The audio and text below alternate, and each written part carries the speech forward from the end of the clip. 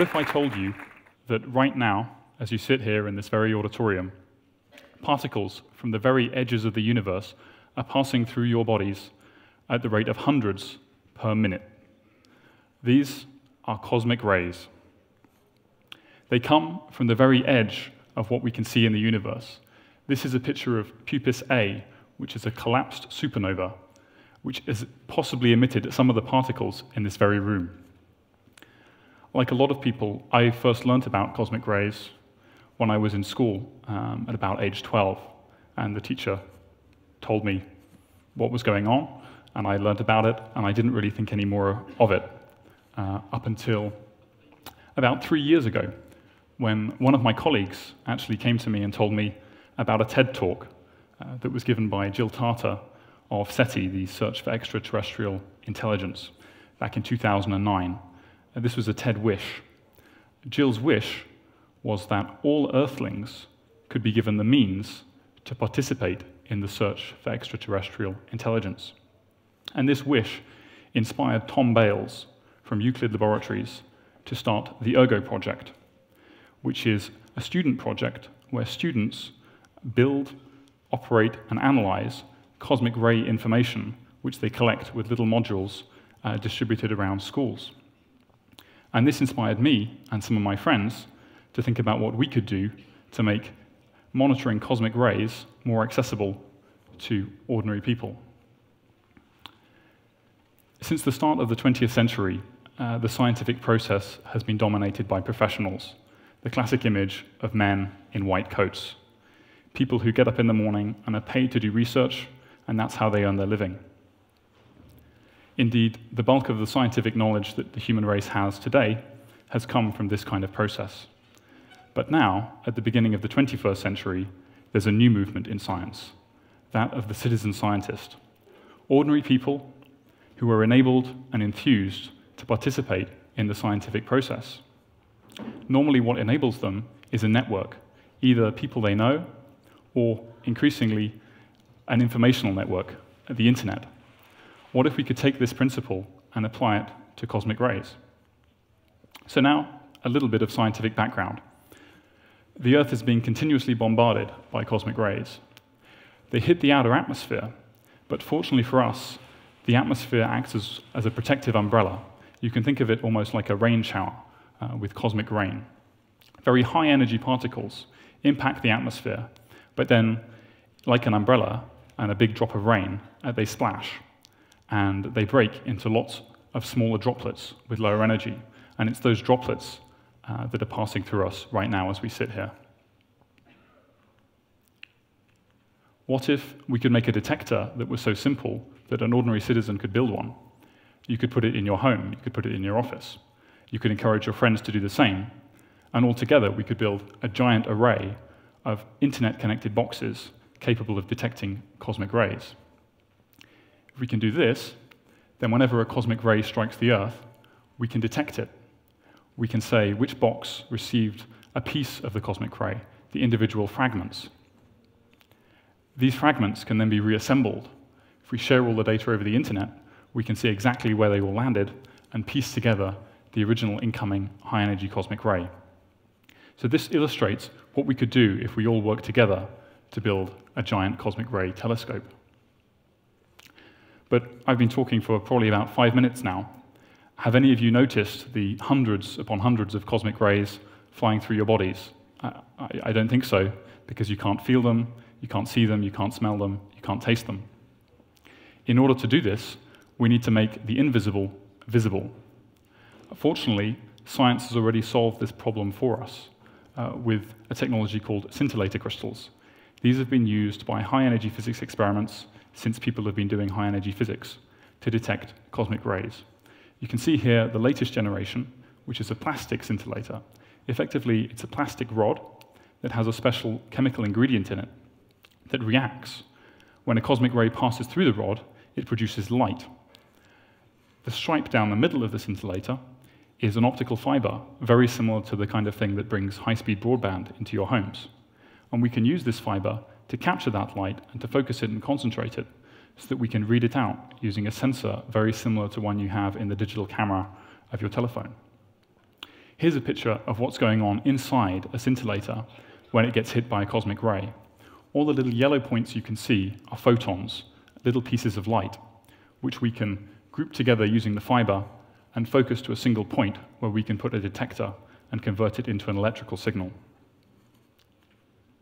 So me and my friends in the Cosmic Pi project have come up with a recipe where everyone can build a cosmic ray detector. And it's quite a simple one, so I'm going to take you through it now. Uh, like all recipes, it's important to start with a good base. So we've based our project on the Raspberry Pi low-cost computing platform. Uh, since it was released uh, two or three years ago, they've produced more than 5 million. So there's a large user base for this kind of technology. On top of your base, you add an electronics module and a GPS receiver. The GPS receiver is very important because it enables us to locate our detector in space so we can plot it on the map. And when we detect particles, we can timestamp them very precisely so we know exactly when they arrived at our detector to within 500 nanoseconds or so. And the icing on the cake is the scintillator that I just showed you. So now you have a complete cosmic Pi. All you need to do is add cosmic rays. Fortunately, we get those for free from outer space. So the rays impact the scintillator crystal and make photons.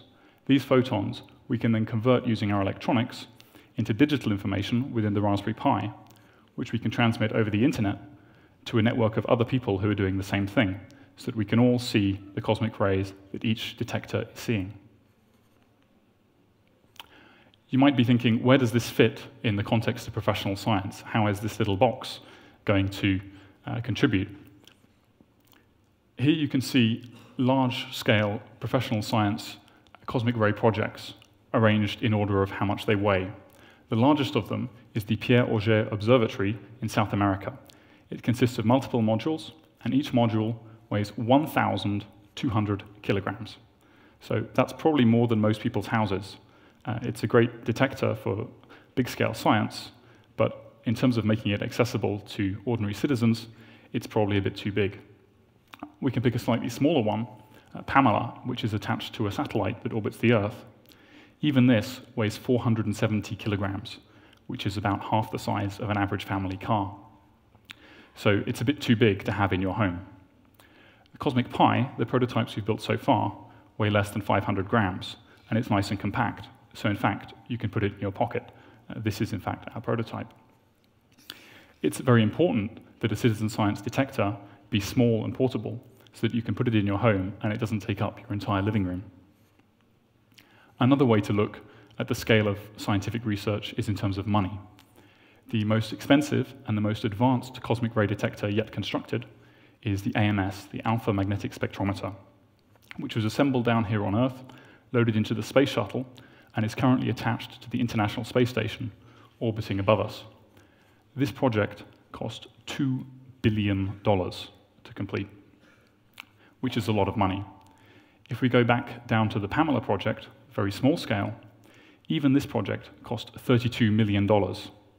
Apart from billionaires who we were talking about earlier, not a lot of us can write a check for $32 million. So it's important that the Cosmic Pi is affordable.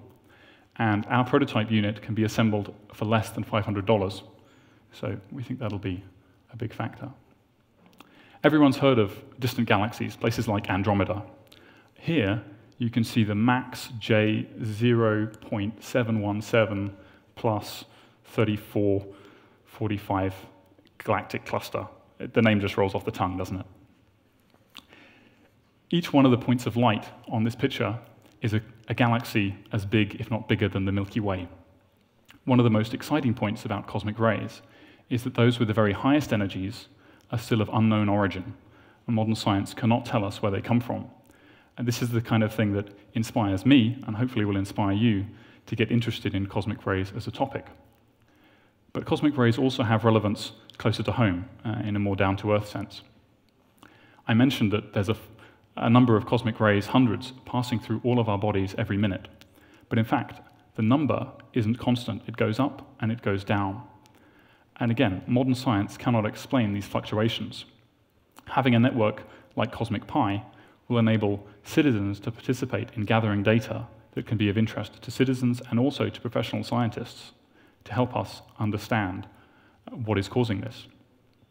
And perhaps even more relevant to our daily lives now is the issue of climate change. Uh, cosmic rays are a key factor in the formation of clouds, which are part of the climate model. Gaining a better understanding of the formation of clouds enables climate scientists to better understand the phenomenon of global warming. These are areas in which Cosmic Pi can collect data that can be useful. So I hope that I've given you a little insight and inspired you that you too could be a citizen scientist and collect cosmic rays. All of the designs that we're developing are licensed under an open license, the CERN Open Hardware License, and they're available for download now on our website at cosmicpi.org.